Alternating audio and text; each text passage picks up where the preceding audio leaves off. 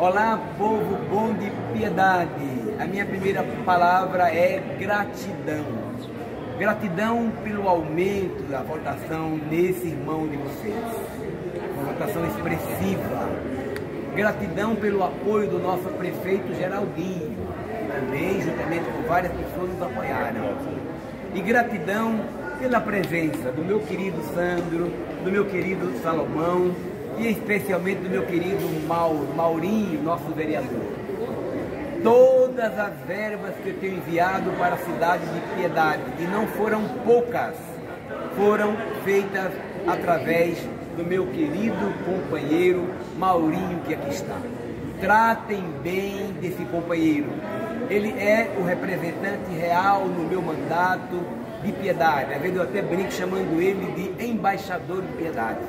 Ele faz coisas, faz viagem, vai a Brasília, vem aqui no Conselho do Mandato em busca de verbos para a cidade. Ele que vai falar o que ele conquistou aqui agora. Fala aí, Maurinho. Vicentinho, primeiramente quero agradecer em especial ao seu mandato, especial a todos os conselheiros e o pessoal da sua equipe. E a gente conseguiu 300 mil reais para infraestrutura em Piedade. Muito obrigado, gratidão mesmo ao seu mandato e toda a história do seu mandato foi quase 4 milhões de recursos para a Piedade. Foram muitos recursos, Santinho. Gratidão.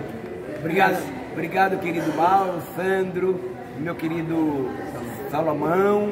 É, dizer, pessoal, que este foi o nosso último conselho. Fizemos 30 assembleias durante os mandatos todos. Eu não quero dizer para vocês um adeus eu quero dizer um até logo, porque a luta continua.